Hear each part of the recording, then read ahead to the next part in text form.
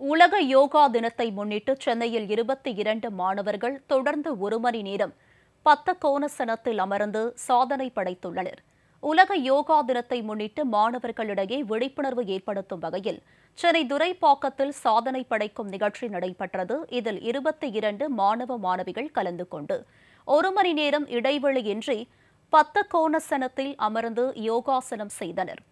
இதனை Nobel world records உலக சாதனையாக அங்கீகரித்துள்ளது மாணாக்கர்களுக்கு பதக்கம் மற்றும் விருதுகள் வழங்கப்பட்டன.